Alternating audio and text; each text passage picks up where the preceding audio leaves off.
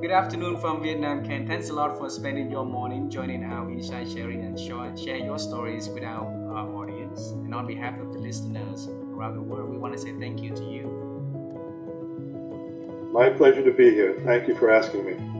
And Ken you had a chance to be in my country before, and you have the various chance to have business, uh, you know, doing with uh, companies in my country, even though it's yet, you know, create anything concrete, but I'm, I'm sure that there will be something in the future for uh, you know that's gonna happen. So um, um, in our culture, you know it that it's gonna be very honor for our audience if we can have you to do a little introduction about who you are and the works that you do.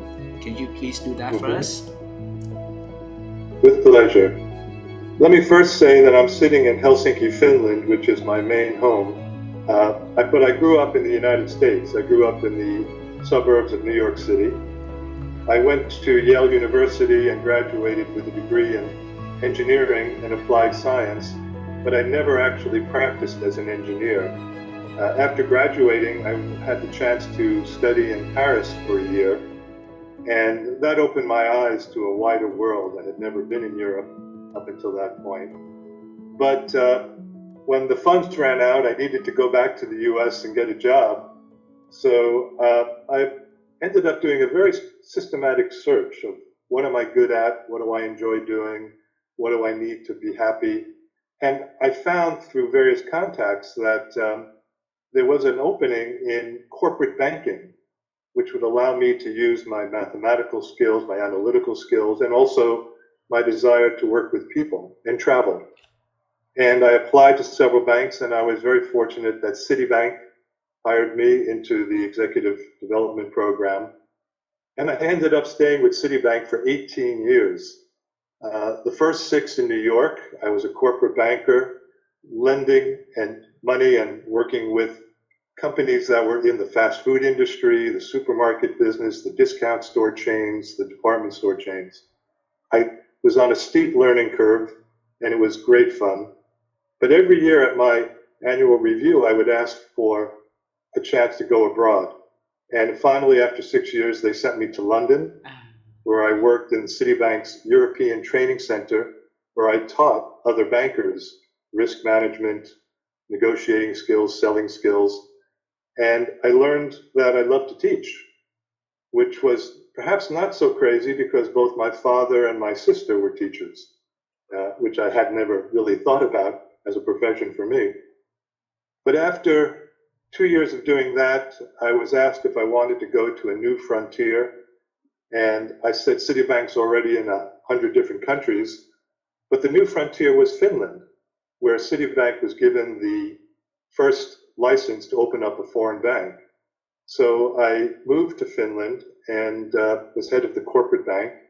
And turned out that Finns were very sophisticated in the financial world. And for four years, I uh, did some really great banking activities, project management, and several other things happened, including meeting my wife, who's a Finn, a Swedish speaking Finn, which started my ties to the country. Uh, after four years, Citibank sent me to Istanbul, where I was lent to the central bank of Turkey and my job was to take a dilapidated hotel on the Asian side of Istanbul on the Marmara Sea and turn it into a world class training center. I had about a million dollars from the World Bank and other funds to do it, and we succeeded in creating a world class residential training center for bankers called the Center for International Banking Studies. Uh, that got me known in the world of the World Bank and the IMF. So in I did it for about two, two and a half years, but when I went for my next assignment, I ended up joining a group in Citibank that was doing consulting for other banks.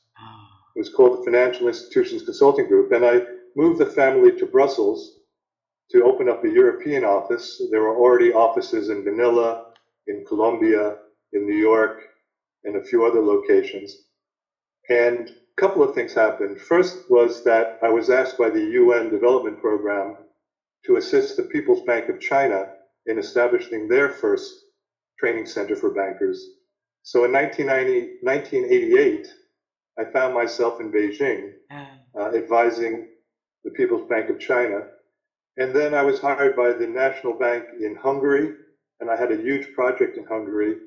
And this is even before the Berlin Wall came down. Uh, and I was in Hungary the day the wall, the wall fell. And I was doing other consulting assignments in Turkey and Greece and Portugal. And I did that for several years, uh, traveling a lot, which uh, the family felt was a bit burdensome. So after three years, I took another assignment in a place called Jersey in the Channel Islands, which is just off France, which uh, generally was a place where corporates were very active using its tax advantageous regime. Mm. But I wasn't there for more than a year because I was then headhunted by the European Bank for Reconstruction and Development. Now, that bank was started in 1991, created by governments from around the world to assist the countries of former Soviet Union in Central Europe moving from communist countries to market economies. And I headed up a, a group that uh, was building banking schools. We've built some business schools in Russia, Uzbekistan, Poland, Albania, all over. Um, and we did some training as well.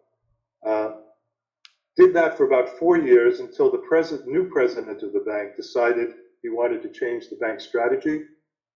And it was suggested to me that my department which was basically run by funding from other countries. I was going out and begging for money. Uh, so I, I outsourced the team. Oh. And that got me into the consulting business. Uh, and the, with that, my wife and I decided to move back to Finland from London, where that bank was located. And uh, I've been in Helsinki ever since. And in the last 25 years or more, I've been doing consulting assignments of all kinds and shapes. I've been doing um, training and development, leadership development, uh, using all types of methodologies from computer-based simulations to action learning. I work with large companies like Ford Motor Company for three years doing action learning, and small companies as well. Uh, and during that time, I've had a chance to write three books, which perhaps we can talk about a bit more. But I been talking quite a bit, so let me stop for a second. You can ask a question from here. Absolutely, absolutely, Ken. Thanks a lot for for sharing the phenomenal career.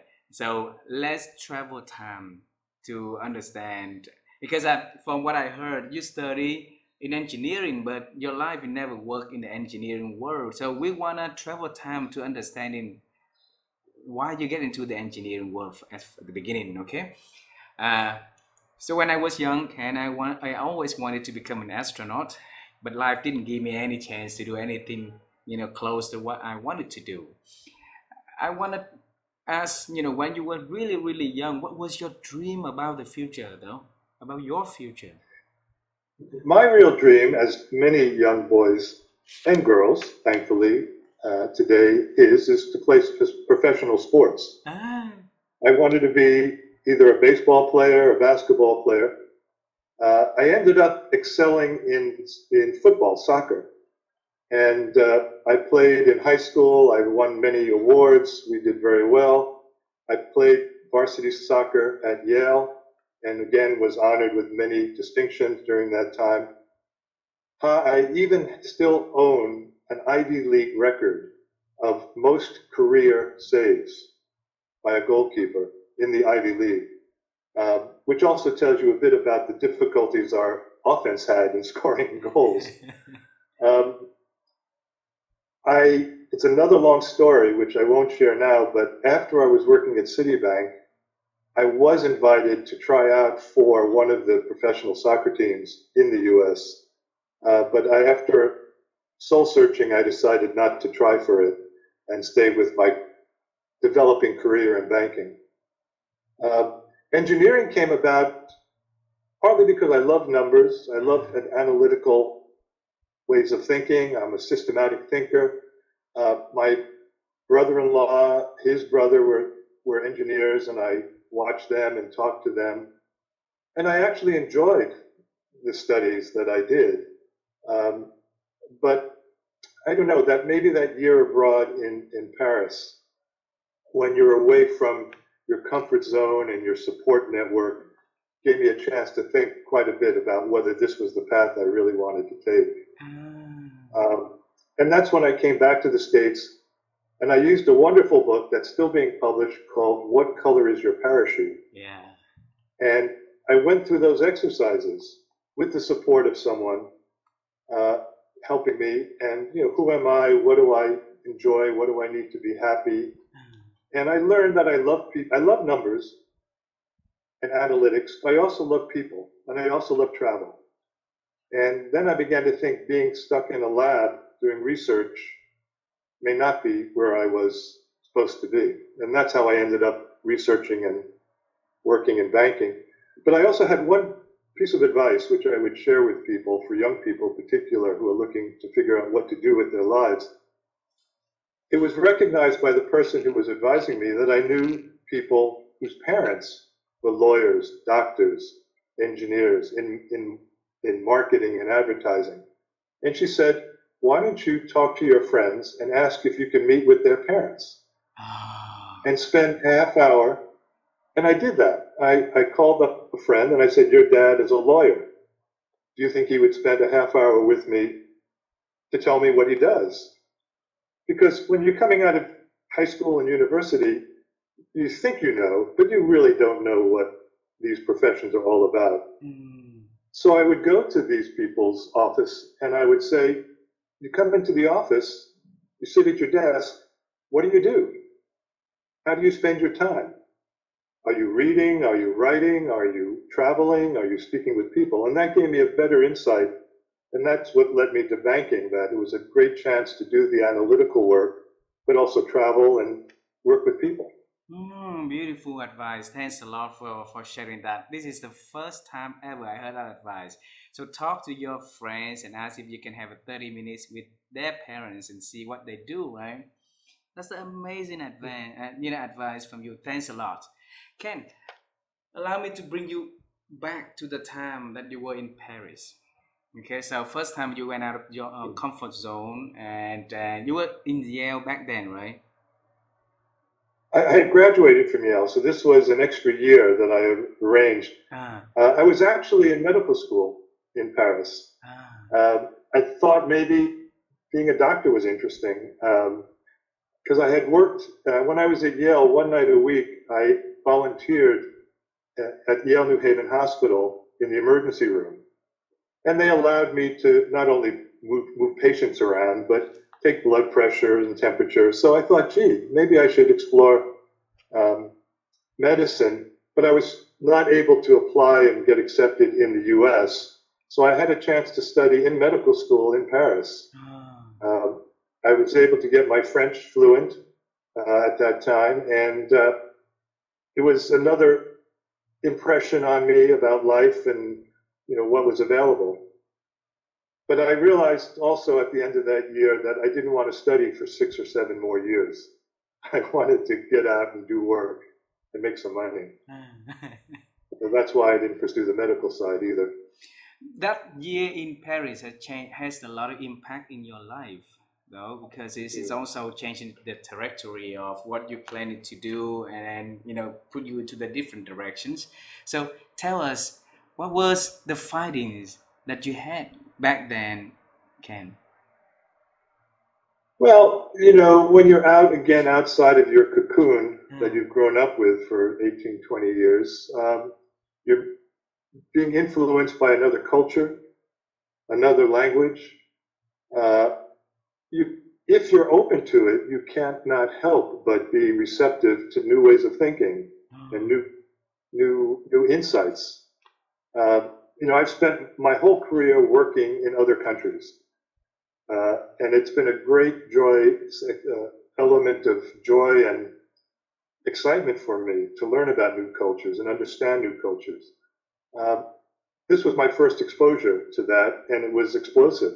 Um, and I said, you know, I, I'm not sure what I want to do, but I do know I want to travel the world. I do know I want to meet people from other cultures. And so that was the major insight, uh, I think. Yeah. Um, as I said, I had to come back and figure out what to do with my life. But every uh, year at my performance review, I said, please send me back overseas.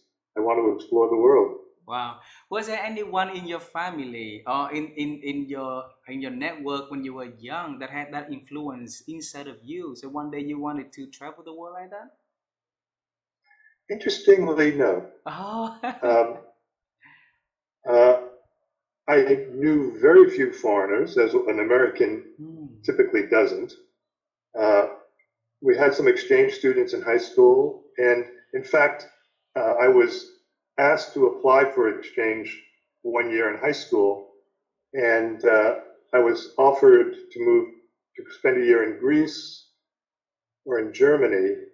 Um, but I didn't go because, quite frankly, my career as a soccer player was advancing and school was working well, so I didn't want to spend an extra year out away and then come back and, and start that again. So maybe there was that seed in me about the chance to go overseas, but I cannot think of at the time anyone in my family uh, who lived abroad, moved abroad, traveled even much abroad uh, at that time. So, you know, at that time, you had a chance to travel to a different state or, or, you know, a different city, right? But you decided to go to a different continent and go to uh, to Paris. It's a whole different, you know, the cultures, people, the language, and everything different. What made you to decide, and why Paris, though? the Paris was just uh, something that fell into my lap with my parents. Someone was arranging this kind of study opportunity. So that was just chance and walking through an open door. Ah, But, um, and I already had studied French, uh, and I just needed to bring it up to a level where I could speak it and understand it uh, fluently. So that was perhaps another initiative. I didn't have to learn a new language like going to Germany or somewhere else. But uh, I can't I can't explain it. It was just it was presented and I grabbed it and it changed my life. See, sometimes there's a destiny in our in our Eastern culture. We call it destiny, right? Something is meant for you. Is meant for you. So, I you've been very successful in the banking career, and then you move into a consulting business, right? And then eventually, you, you said that you you are the author of three uh, three books. So tell us, since when inside of you have the urge of writing and starting to write your first book, though? You know, in high school, I enjoyed writing and I wasn't very good. And my English teacher, who was also my advisor, if you will, Hmm. worked with me after school to help hone my writing skills. And I needed that, of course, in university as well, because wonderful thing about U.S. universities is a liberal education. So even though I was taking courses to lead to the engineering degree, physics and all these types of maths and such, I was also taking other courses in English, in art history, in theater, and for those you had to write. So I, I knew I enjoyed writing, and I and I wrote pretty well, although it wasn't you know something I did full time. When I got into banking, I learned it was important to write well as well. As you're trying to write a proposal to lend money to a company, you needed to write succinctly, clearly, communicate very carefully the pros and cons. So writing became, and still is, an important element of most businesses where you're trying to, to have decisions made Hmm. about the pros and cons of a, a concept, an idea, a proposal. Um, when I got into the consulting business, I one of the things that I felt I needed was some credentials apart from my experience. And there's a program which I'm not sure you're aware of. It's called Life Orientations or LIFO. Um, it's a methodology to um, help people understand themselves and to work out strategies to improve their communication and make successful relationships with other people. Uh, I had been introduced to it because Citibank had introduced us to it. And I met one of the two founders, and I realized that there was only one book on the subject, and he had written by his partner. So he and I developed the idea to write a book. The whole concept of LIFO is built around your strengths. Ah, strength orientations and working with understanding how these orientations, how you behave, evolve, and how you change your behaviors under stress and how you need to understand what they are. That's number one. Number two, it's about reading other people. You know, the, the, the conventional golden rule, do unto others the way they want you want them to do unto you. In LIFO, we turned it around to do unto others the way they need and want to be done unto, meaning read other people, understand their orientations, mm. and change and develop your approach to them based on how they need to be communicated to. so we wrote the book, uh, Managing Your Strengths. It got one translation into Portuguese uh, in Brazil. Um, it, it, was mainly a trade book for people who work with this LIFO method. Mm. And, uh, you know, it was a very great experience. So for me, it was the first chance to collaborate and write on a, write a book. And that said, I, would like to do more of this one day. um, and that happened later on. Uh, after I did three years working with Ford, someone called me and asked me, since I know something about the motor industry, do I want to help build a course around Formula One racing for a large international law firm based in London. And to make the story short, I and two other gentlemen, former commercial director for two of the Formula One teams and a professor of strategy at one of the business schools in the UK, and I devised a two day course where I role played that I was the vice president of strategy for Volkswagen, mm. and we wanted to enter Formula One under the Audi brand. And then we would have the, these lawyers come in and say, You're not lawyers any longer, you're now consultants. And you have to advise me do I buy a team? Do I start a team? Do I do an engine supply? And ha, we ran that course over three years 50 times wow. for thousands of their lawyers who flew in from all over the world to do it. And at the end, the two other colleagues of mine decided that we'd write this book. Uh, we were very excited that Cambridge University Press wanted to publish it. So we published the book in 2005, Performance at the Limit, Business Lessons from Formula One Racing. 2007, we made an eight-part, or we helped make an, an eight-part series with the BBC about the ideas in the book called uh, Formula for Success.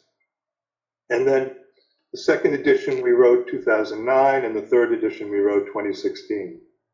And it's out now in Mandarin Chinese, in Turkish, and in Japanese. And I do quite a bit of work uh, doing speaking engagements, uh, doing workshops with organizations, using the concepts from the book to talk about leadership, teamwork, innovation and change, transformation, and those kinds of topics all relevant to how a Formula One team works. Wow. And then we want that book to be translated and published in Vietnamese also, so that it can be accessible to to many, many Vietnamese in this country also. So let's work on that one together, all right?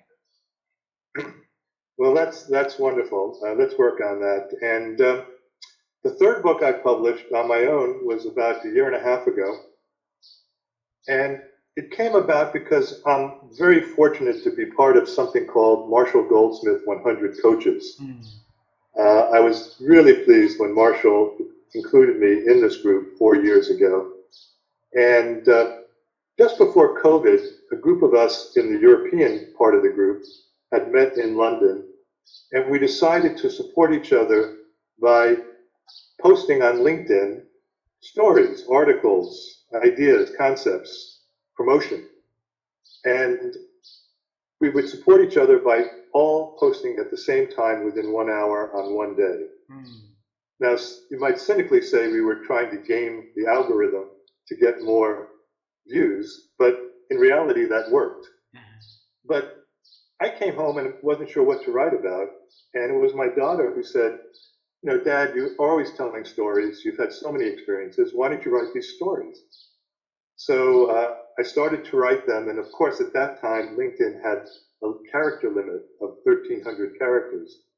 So I very carefully created stories about my experiences around the world, and Uh, at the end of each story, I wrote a lesson, a business lesson or a life lesson. And they were very successful. Uh, and the group kept pushing me to actually write a book that included those stories. So finally, in July of 2021, I published a book called Exploding Turkeys and Spare Trousers Adventures in Global Business. And there are 53 stories, all one page only. And at the end of each page is a lesson about life or about business that someone can take away. And uh, that's been great fun. And just last Thursday evening, I spoke to a book club about it. Um, they asked me to read some of the stories, and it, it's always just you know great to share your experiences as we're doing now. Wow, beautiful, beautiful. Can you pick a story in that book and then share with us? I could. Uh, I could read it if you give me a chance, or. I could. Um, let me let me get the book.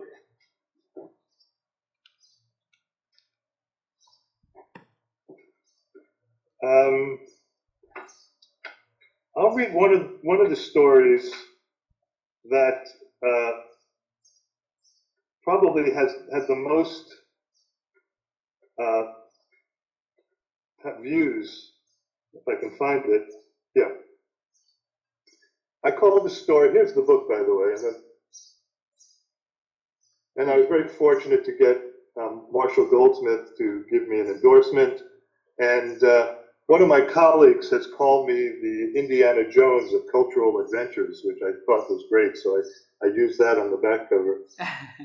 this story is called Serendipity, and it's, as you can see, it's not very long.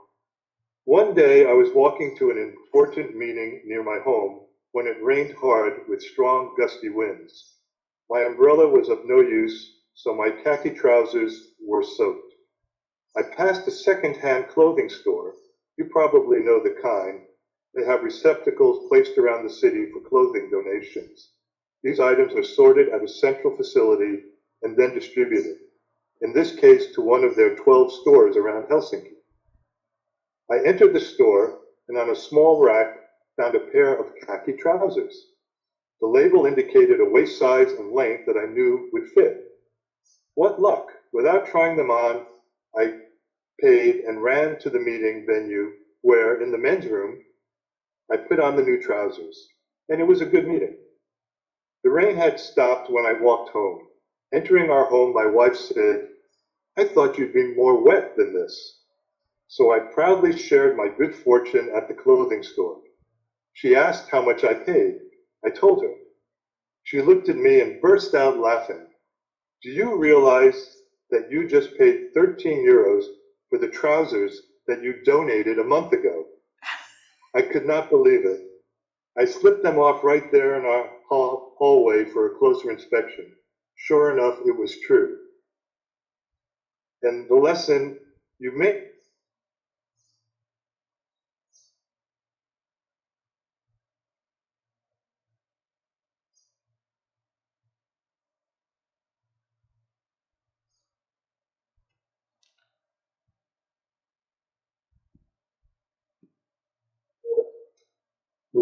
Ken. Yeah, I lost you for a second. Yeah, I lost I you for about. I, need... I, lost you for about fifteen seconds for some reason. Uh, you were talking about the, wrong... the lessons because so what was the lesson? Okay. Yeah. Okay, hold on.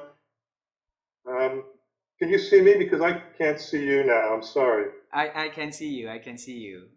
Okay. Yeah. And I'll just I'll just go ahead. The lesson is you may not always end up where you thought you were going, but you will always end up where you were meant to be. Wow. Apparently, the same is true for donated trousers. Oh. See, Ken.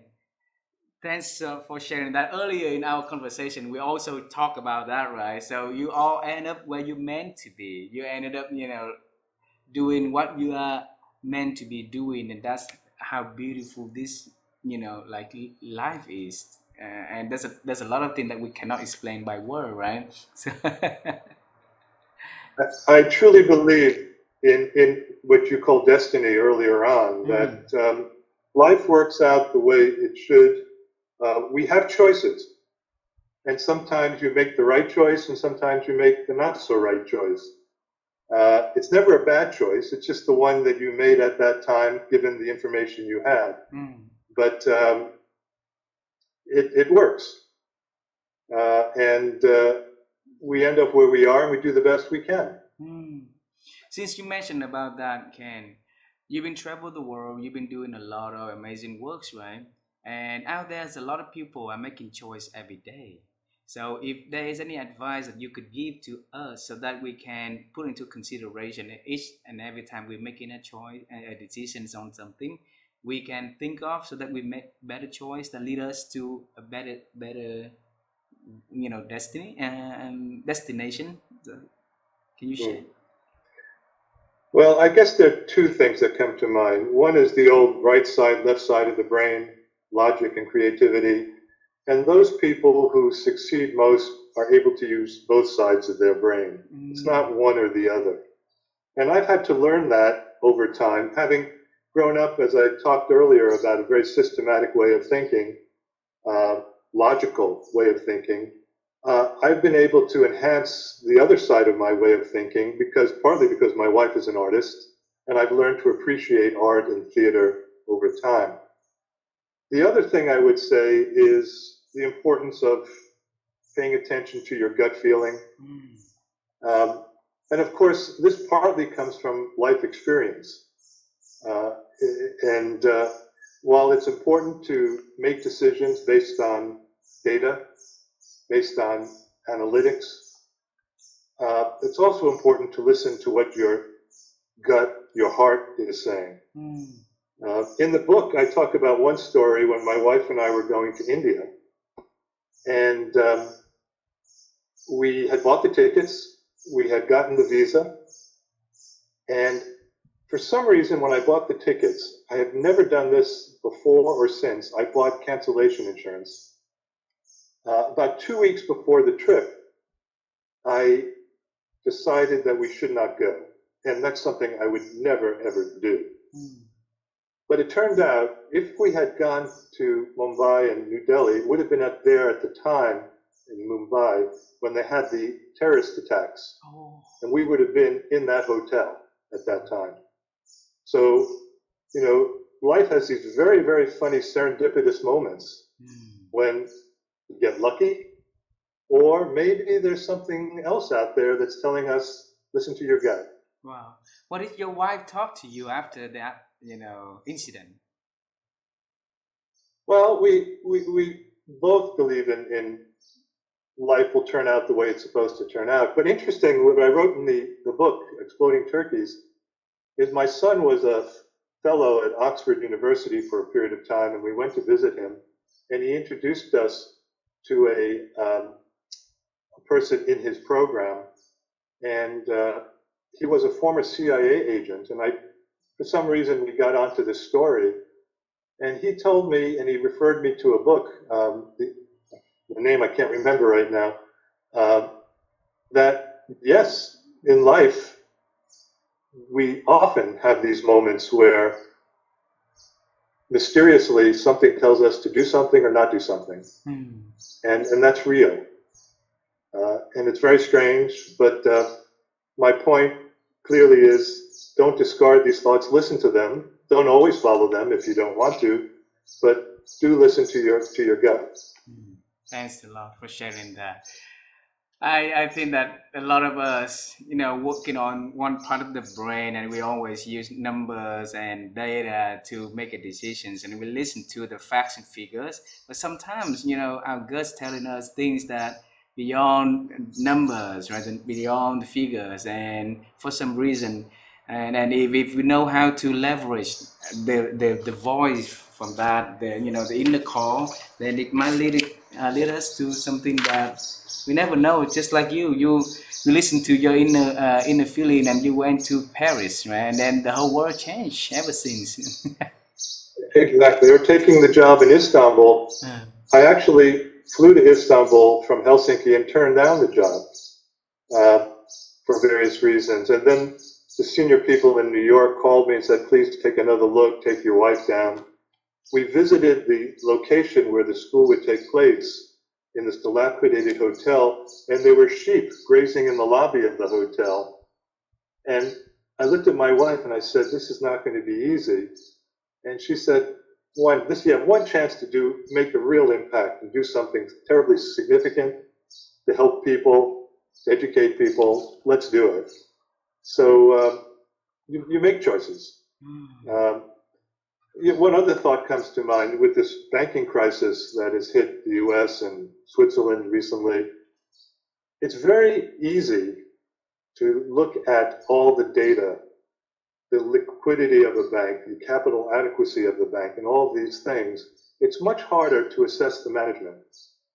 And at the end of the day, all of these problems with companies and banks are generated from how the leaders performed or did not perform, mm. how they dealt with adversity and problem solved when things got bad. It's easy to lead and manage when uh, the going is good. So, you know, it, it's it's nothing you can put through a computer or AI to determine how good a manager or leader someone is. It's very, very qualitative and subjective. And that's just something, again, you have to decide from your yourself not just your head, but your sense of that person. Mm. Okay, since you're an expert in performance, you wrote books uh, about that, right? Uh, and yes.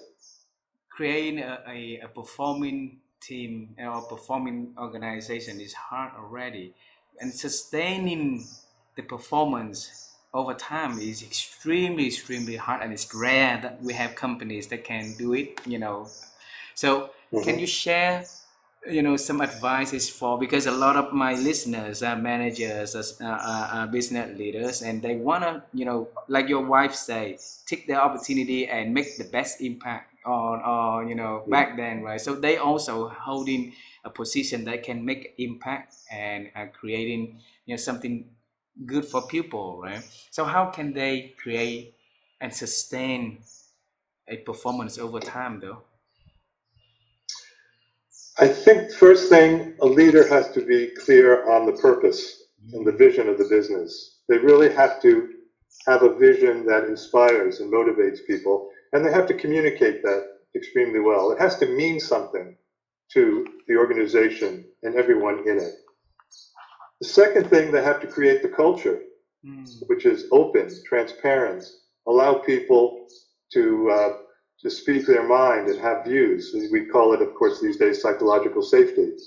But the importance of people having a chance to share what they're thinking, with, even if it's a negative or not so constructive thought, sometimes is useful, and, and senior leaders need to listen. And uh, I guess the third thing is communication. Uh, you cannot take communication for granted, whether it's internally or externally. It's not something that just happens. Uh, I love this quote from this famous actor, Peter Ustinov. He said that communication is the art of being understood. And even if you've said something to someone, doesn't mean that they understood it. And you have to make sure the message comes across. And this is particularly of concern and interest in a cross-cultural situation where language comes into being and and, and gestures and cultural norms are different. Uh, so that, you know, I spent a big part of my life, as I said, working with interpreters uh, and making sure they understand not just what I'm saying, but what I'm meaning mm. and get that message across to the audience who doesn't understand my language is, is crucial. Uh, communication, I talked about leaders being um, being you know the, the, the key to any organization. Credibility of leaders. You know, you spend your whole life building trust by the, your actions and your behaviors, but it takes only one moment mm. to crush that reputation if you do something which is not appropriate. So character, uh, culture, of culture not only of not fear of speaking up, but also of collaboration. Yeah. No business gets things done by one person. We're collaborating all the time, internally and externally. And then lastly, I would say that it's important for leaders to understand that their job not only is to create change and direction, but to also teach. Mm. I think leaders are should always remember that they have experience, they have a view, a helicopter view that others in the organization don't have, and they need to teach others along the way and not hold everything they know close to them.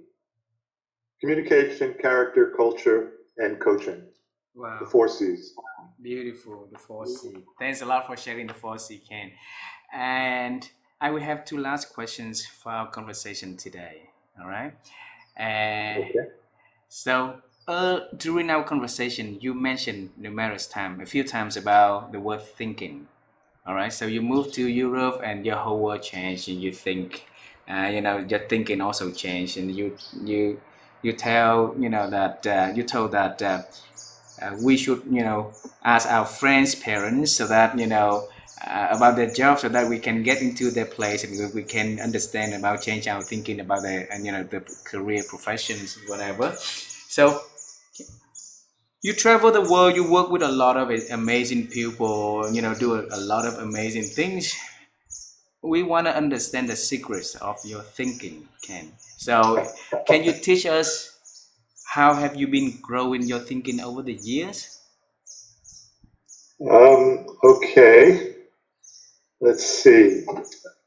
I guess first uh, is open mind. Mhm. uh, trying not, although it's hard sometimes, to be too judgmental, to give the benefit of the doubt before you make your decision or your judgment about something or someone. Mm. I don't think anyone who can travel the world and see other cultures can enjoy it unless you have an open mind Mm. and accept there are other ways of doing things, even other ways of thinking Mm. about time, for example, or about how you treat the elderly or, or whatever the topic might be. So open mind and not too judgmental. Uh, I think it's important to develop your skill of lateral thinking, Mm. not to be funneled, have your thinking funneled into one direction, but to open your mind and look for relationships that might add to your understanding of a situation. Mm. And um, I guess the third and thing I would say is uh, I'm a glass half full person. Mm. I usually try to see the positive in situations, the positive in people, until proven otherwise. Yeah. And I like to be very optimistic in uh, taking my approach to any business opportunity or any personal relationship until I'm shown that you know maybe I was wrong and or maybe I should adjust my thinking. There's a great quote that I've used in speeches before, and it's ascribed sometimes to Abraham Lincoln, but I'm not really sure. And he was asked, "What's the difference between a pessimist and an optimist?" And he said, "A pessimist sees the difficulty in every opportunity, while an optimist sees the, opportunity in every difficulty. Mm. And I guess I've developed a way of thinking very optimistically. Recently or ever since? Over time, over time, I, you know, moving to France, then moving to London, and then to to um, Finland, and then especially to Turkey, which was quite a culture shock. Uh, you learn, you have to learn to be more tolerant and open-minded. Uh, there are many different ways that things get done that are different Mm. than the way you were grown up to think they get done. Mm. And uh, you can fight it, uh, which could be aggravation and anxiety and not lead to great well-being. Mm. Or you could learn to understand it. Not, I'm not saying you change your values about what's important in life, but you learn to understand that maybe you need to take different pathways to get the same thing done Beautiful. in a different culture and a different environment. Beautiful, beautiful. The next question I have for you, Ken, is about happiness. All right. My wife and I, we we on our second, you know, initiative to find answers to help people to get to be happier in their life because we saw a lot of people are not happy and what they do and how they live and stuff like that. And you you seems to me that you are really doing everything really really beautifully and you're really happy at what you do. So if you rewind your life, you know, and then you can share with us a secrets that can that contribute to your happiness. What would be those things? Eh? Uh, you know. Uh, you're asking the right person because I'm sitting here in Helsinki, and Finland was, for the sixth year in a row, named as the happiest country in the world uh, by the UN and the report that they write. And you know, people in France are laughing about this and saying, "You guys must be dancing in the streets," and it's it's really not that. Uh, happiness for me, and maybe the reason why I feel such affinity to Finland, and you know, these days I'm both a U.S. and a Finnish citizen, and I'm very pleased and proud about that. Um, it's it's about being content. Mm. It's about understanding that it's not easy to find harmony between life, work life, and personal life, but you can. And I'm, I'm, I do not use the word balance because I'm not sure it's really a, a balance. It's a harmony mm. that you need to find. And in Finland, we've learned here to work hard, to produce well in the organizations that we work in. But we've also learned the importance of free time, vacation time, time with family, and not compromising on that. Yeah. And so, if you ask me my recipe, it's about making a choice to live a life that gives you that harmony between your family life, your friend's life, your life of hobbies, and the work life that you want to do. I've been fortunate to find a way to make that happen, and uh, and I don't suspect that it's easy for everyone. Again, depending on the culture that mm-hmm. you're working and living in. But in Finland, we've been able to find that harmony between life and work, and uh, that's why I can smile and be happy. so making a choice to create that harmonization, right? You can. Um, you know, I, am not suggesting that everyone in the world can find this harmony. Uh, and there are different stages in your life as well. You know, I don't mean to think that you can do this all the time. There are stages when you're working nonstop, mm. but the body won't allow you to do that. And you know, we're putting a great deal of focus on well-being these days. COVID kind of brought that to the fore. Mm. That um, even though you might be able to work at home, there are other issues that are, arise because you're isolated yeah. and you're not getting the support from your colleagues at the office. Uh, burnout is a big issue these days. So it's not a, I'm not, don't mean to make it a simple choice, and I know it's difficult, but it's a conscious decision that someone needs to make about how they work, how they sleep, how they eat, how they exercise. And that holistic approach is what makes someone happy. That if you can find that harmony among all of those elements, family and friends, then you're a lucky person. And, and that's what I think most people should strive for if they can do that. Beautiful, beautiful.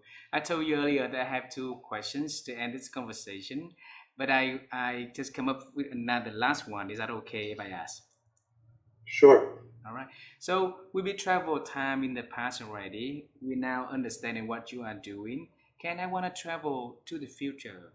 Is there anything that you are working on that exciting you want to share with me and the audience so that we can celebrate with you in advance? well, you know, I made a conscious decision some years ago, and my wife gave me some great advice when we had our first grandchild.